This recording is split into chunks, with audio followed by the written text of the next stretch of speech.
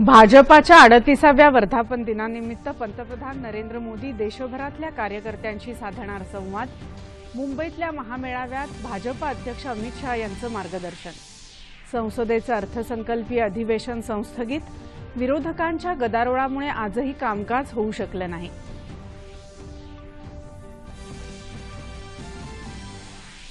काळवीट शिकार प्रकरणी शिक्षा झालेला अभिनेता सलमान खानच्या जामीन अर्जावर अद्याप निर्णय नाही.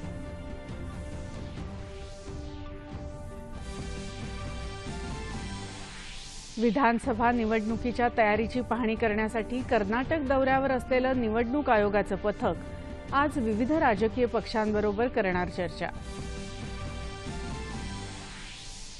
नेपाळचे पंतप्रधान के पी शर्मा ओली आजपासून तीन दिवसांच्या भारत दौऱ्यावर.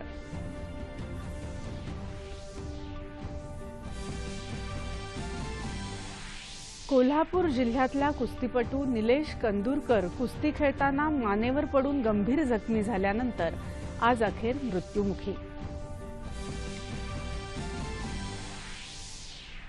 आयपीएल क्रिकेट स्पर्धेतल्या सामन्यांचं यंदा प्रथमच दूरदर्शनवरूनही होणार प्रक्षेपण.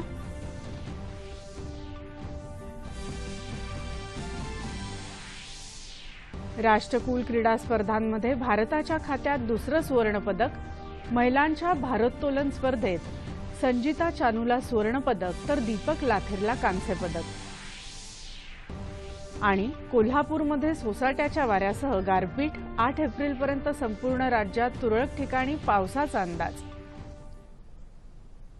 नमस्कार. एकच्या बातमीपत्रात मी प्रज्ञा जांभेकर आपलं स्वागत करते. आता पाहूया बातम्या विस्तारानं. भारतीय जनता पार्टीचा आज अडतीसावा वर्धापन दिन आहे. यानिमित्त मुंबईत आज भाजपाचा महामेळावा होत आहे. राज्याच्या विविध भागातून लाखो कार्यकर्ते या मेळाव्यासाठी आले आहेत. प्रदेशाध्यक्ष रावसाहेब दानवे केंद्रीय मंत्री प्रकाश जावडेकर मुख्यमंत्री देवेंद्र फडणवीस यांच्यासह भाजपा नेते मेळाव्याला उपस्थित आहेत. भाजपा अध्यक्ष अमित शहा आज मेळाव्याला संबोधित करणार आहेत. वर्धाप वर्धापन दिनानिमित्त आज पंतप्रधान नरेंद्र मोदी दिल्लीमधून नरेंद्र मोदी ॲपच्या माध्यमातून व्हिडिओ कॉन्फरन्सिंगद्वारे देशभरातल्या भाजपा कार्यकर्त्यांशी संवाद साधणार आहेत. या संवादाच्या वेळी ते कार्यकर्त्यांचे विचार जाणून घेतील. तसंच केंद्र सरकारच्या कल्याणकारी योजनांबाबत त्यांच्याशी चर्चा करतील. भाजपा हा नवभारताचा पक्ष असून समाजातल्या सर्व स्तरातून त्याला पाठिंबा मिळत आहे असं पंतप्रधानांनी आपल्या संदेशात म्हटलं आहे. देशातील वैविध्यतेवर वैशिष्ट्यपूर्ण संस्कृतीवर आणि एकशे पंचवीस कोटी भारतीयांच्या शक्तीवर पक्षाचा विश्वास आहे. पक्षासाठी कार्यकर्ता हाच पक्षाचं हृदय आणि आत्मा आहे त्याच्यामुळेच पक्ष आज नव्या उंचीवर पोचू शकला आहे असं पंतप्रधानांनी म्हटलं आहे. सहा एप्रिल एकोणीसशे ऐंशी रोजी भाजपाची स्थापना झाली होती. माजी पंतप्रधान अटल बिहारी वाजपेयी भाजपाचे पहिले अध्यक्ष होते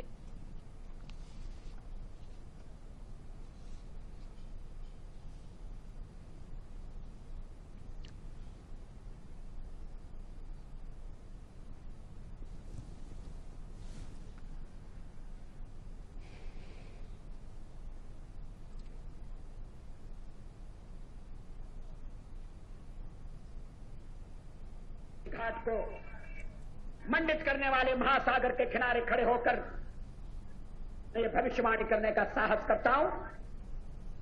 अंधेरा छटेगा सूरज निकलेगा कमल खेले वर्ष तुरुंगवासाची शिक्षा झालेल्या अभिनेता सलमान खानच्या जामीन याचिकेवरचा निर्णय जोधपूरच्या सत्र न्यायालयानं उद्यापर्यंत राखून ठेवला आहे. त्यामुळे सलमानला आजही तुरुंगात राहावं लागणार आहे. सलमान खानला राजस्थानातल्या जोधपूर इथल्या न्यायालयानं काल शिक्षा सुनावली. तसंच त्याला दहा हजार रुपयांचा दंडही ठोठावण्यात आला. त्यानंतर त्याची रवानगी जोधपूरच्या मध्यवर्ती कारागृहात करण्यात आली. संसदेचं अर्थसंकल्पीय अधिवेशन आज संस्थगित करण्यात आलं. संसदेत गेल्या तेवीस दिवसांपासून कामकाज चालू न शकल्याच्या निषेधार्थ भाजपाच्या खासदारांनी आज संसद परिसरात धरणं धरलं. काँग्रेस नकारात्मक राजकारण खेळत असल्याची टीका संसदीय कामकाज मंत्री अनंत कुमार यांनी केली. मुठभर लोकांमुळे अधिवेशनादरम्यान जनतेच्या अपेक्षा पूर्ण करण्यात आम्ही कमी पडलो. मुठभर लोकांमुळे संपूर्ण अधिवेशनावर पाणी पडलं असं पंतप्रधान कार्यालयाचे राज्यमंत्री जितेंद्र सिंह यांनी सांगितलं. आपल्या विविध मागण्यांसाठी वेगवेगळ्या पक्षाच्या खासदारांनी आज संसद भवन परिसरात धरणं धरलं. लोकसभेच्या अध्यक्ष सुमित्रा महाजन यांनी या अधिवेशनाच्या दुसऱ्या टप्प्यात झालेल्या कामकाजाची माहिती दिली. गदारोळामुळे एकशे सत्तावीस तास आणि पंचेचाळीस मिनिटांचं कामकाज वाया गेलं आणि केवळ तेहतीस तास पन्नास मिनिटांचं कामकाज होऊ शकलं असं त्यांनी सांगितलं. अझरबैजानमध्ये बाकू इथं सुरू असलेल्या अलिप्त राष्ट्रांच्या बैठकीत काश्मीरचा मुद्दा उपस्थित करणाऱ्या पाकिस्तानवर भारतानं जोरदार ताशेरे ओढले आहेत. जम्मू काश्मीर हे राज्य भारताचा अविभाज्य भाग आहे आणि राहील. दहशतवादाचं उदात्तीकरण करून सीमेपलीकडच्या दहशतवादाला खतपाणी घालून शेजारी देशांच्या प्रादेशिक अखंडतेमध्ये हस्तक्षेप करून वस्तुस्थिती बदलता येणार नाही असं भारतीय राजनैतिक अधिकारी प्रियंका मेहतानी यांनी पाकिस्तानला सुनावलं. पाकिस्तानच्या पंतप्रधानांचे प्रसारमाध्यमविषयक विशेष सहकारी डॉक्टर मुस्तादिक मसूद मलिक यांनी या बैठकीत जम्मू काश्मीरमध्ये कथित अत्याचारासंदर्भात मत व्यक्त केलं होतं. मलिक यांच्या वक्तव्यावर मेहतानी यांनी तातडीनं भारताची भूमिका मांडली. अलिप्त राष्ट्रांच्या मूळ उद्दिष्टांपासून विचलित होऊ नये आणि बदलांसाठी अथक प्रयत्न करणाऱ्या देशांनी अस्वस्थ असलेल्या एकाकी देशाचा स्वार्थ विचारात घेऊ नये असं मेहतानी म्हणाल्या. पतधोरण तयार करण्यासाठी उपयुक्त ठरेल अशी भाकितात सुधारणा करणारी देखरेख ठेवणारी आणि तातडीनं इशारा देण्याची क्षमता असलेली डेटा सा- सायन्स लॅब उभारण्याचा निर्णय रिझर्व्ह बँकेनं घेतला आहे. पतधोरण तयार करताना नियामक प्रणाली आणि सर्वेक्षण यांच्या माध्यमातून मिळालेल्या माहितीचा फायदा होतोच पण त्याचबरोबर इतर स्रोतांकडून मोठ्या प्रमाणावर मिळणाऱ्या प्रत्यक्ष माहितीचा उपयोग होत असतो असं रिझर्व्ह बँकेच्या प्रसिद्धी पत्रकात म्हटलं आहे. या लॅबमध्ये संगणक विज्ञान माहिती विश्लेषण सांख्यिकी अर्थशास्त्र इकॉनॉमेट्रिक्स आणि फायनान्स यामध्ये प्रशिक्षण घेतलेले तज्ज्ञ आणि उदयोन्मुख विश्लेषक यांचा समावेश असेल. या वर्ष अखेरपर्यंत हे केंद्र कार्यरत होण्याची शक्यता आहे. राज्यातल्या दोन नगरपंचायती आणि दोन नगरपरिषदांसाठी आज निवडणूक होत आहे. सिंधुदुर्ग जिल्ह्यातल्या कणकवली नगरपंचायतीसाठी सकाळी साडेसात वाजता मतदान सुरू झालं. सकाळी साडे अकरा वाजेपर्यंत पस्तीस टक्के मतदानाची नोंद झाली. या नगरपंचायतींमध्ये बारा हजार पाचशे पंचवीस मतदार आपला मतदानाचा हक्क बजावण्याची अपेक्षा आहे. सतरा नगरसेवक पदांपैकी सोळा नगरसेवक पदांसाठी पंचावन्न उमेदवार आपलं नशीब आजमावत आहेत. वॉर्ड क्रमांक दहामध्ये न्यायालयीन प्रक्रिया आणि त्यामुळे निवडणूक चिन्ह मिळायला झालेल्या विलंबामुळे अकरा एप्रिलला मतदान होणार आहे. नव्यानं स्थापन झालेला महाराष्ट्र स्वाभिमान पक्ष पहिल्यांदाच निवडणूक लढवत असून या पक्षानं राष्ट्रवादी काँग्रेसची आघाडी घेतली आहे.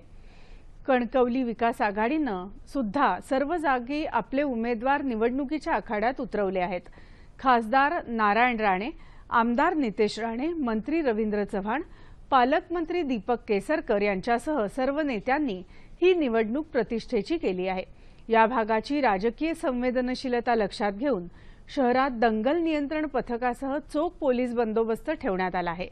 कोल्हापूर जिल्ह्यातील आजरा नगरपंचायतीसाठी तर जळगावमधील जामनेर आणि औरंगाबादमधल्या वैजापूर नगरपरिषदेसाठीही आज मतदान होत आहे.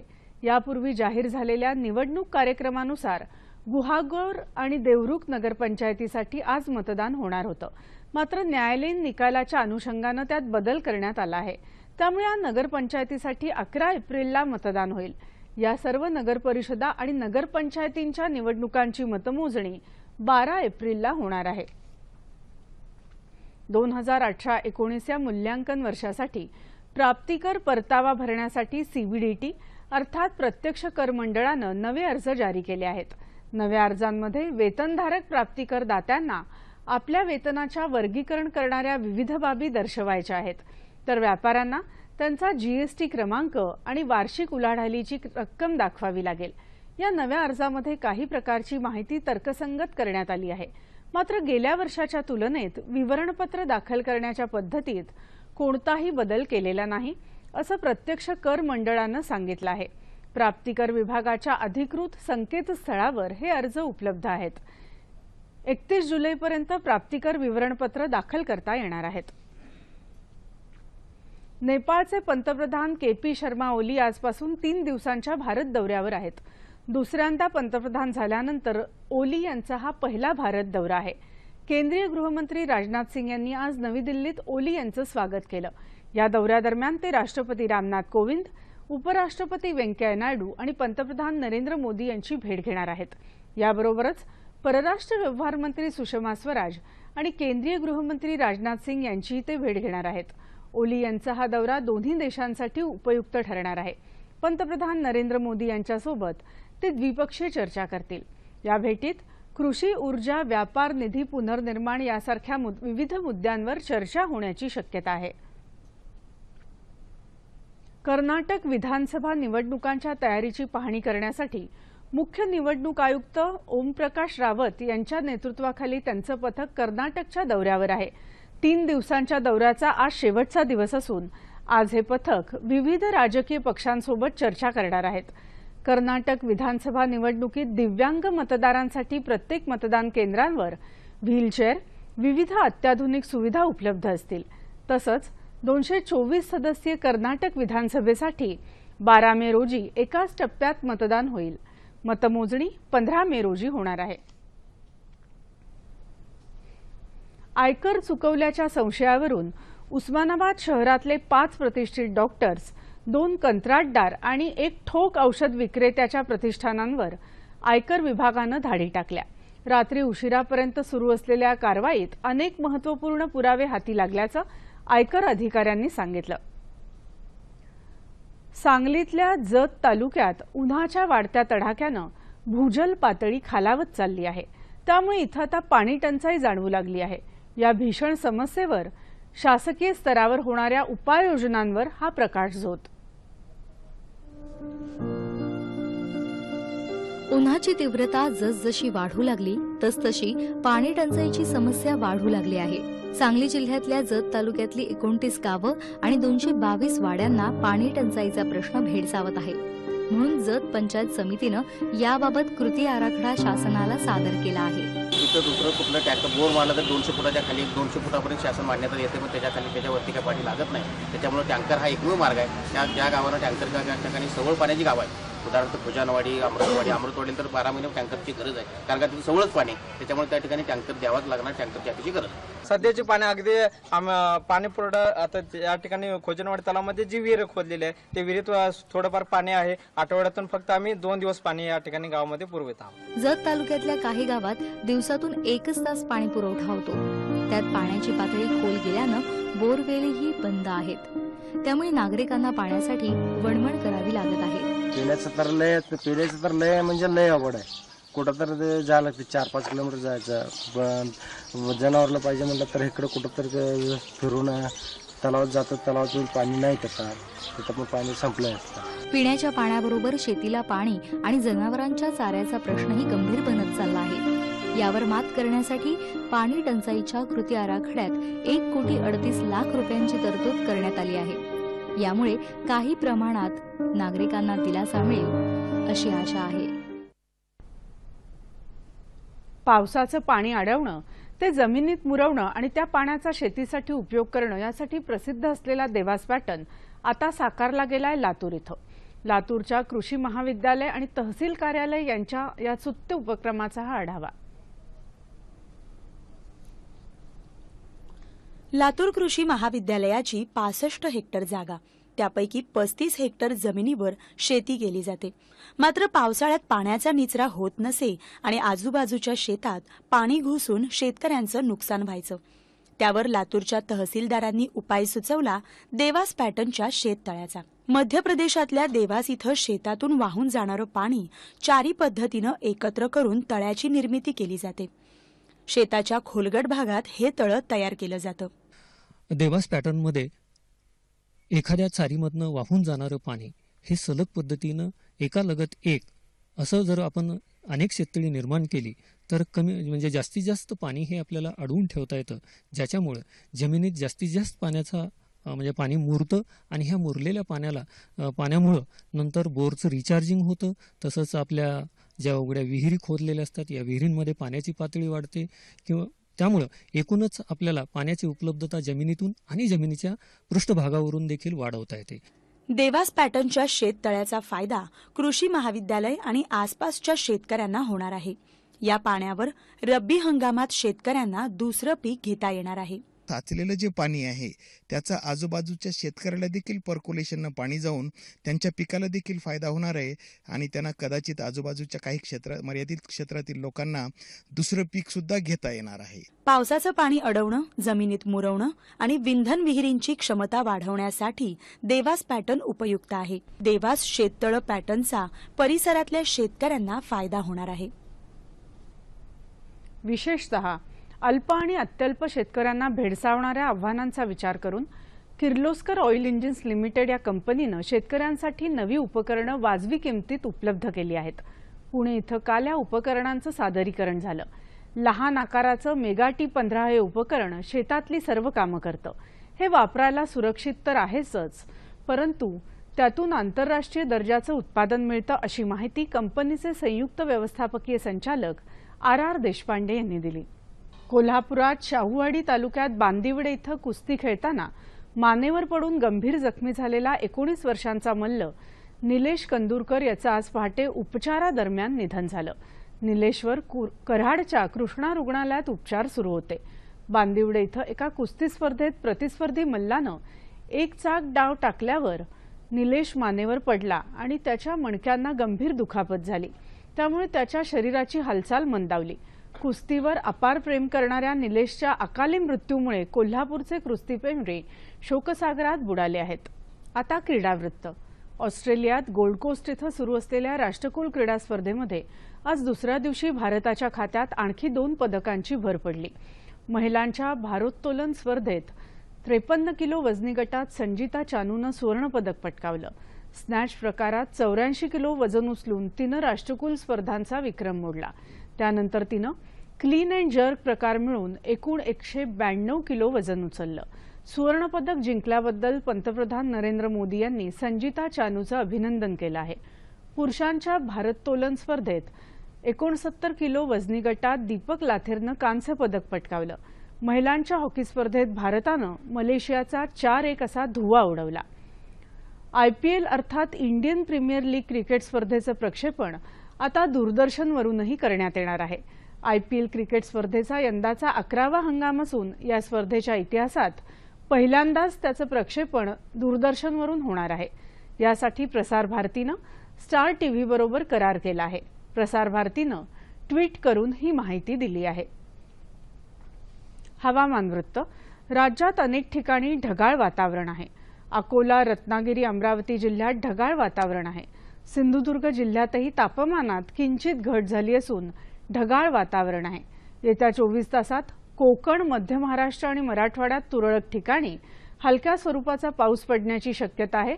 तर काही ठिकाणी वादळी वाऱ्यासह पाऊस पडेल असा अंदाज हवामान विभागानं वर्तवला आहे.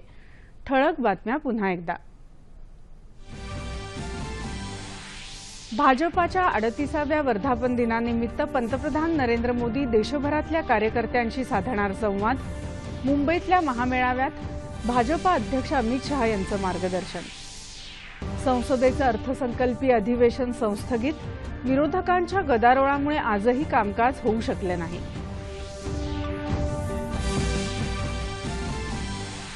काळवीट शिकार प्रकरणी शिक्षा झालेला अभिनेता सलमान खानच्या जामीन अर्जावर अद्याप निर्णय नाही.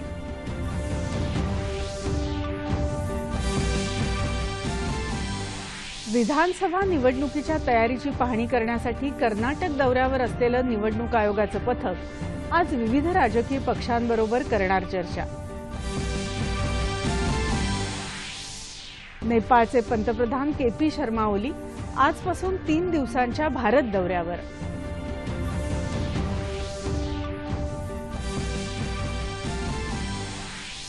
कोल्हापूर जिल्ह्यातला कुस्तीपटू निलेश कंदूरकर. कुस्ती खेळताना मानेवर पडून गंभीर जखमी झाल्यानंतर आज अखेर मृत्यूमुखी. आयपीएल क्रिकेट स्पर्धेतल्या सामन्यांचं यंदा प्रथमच दूरदर्शनवरूनही होणार प्रक्षेपण.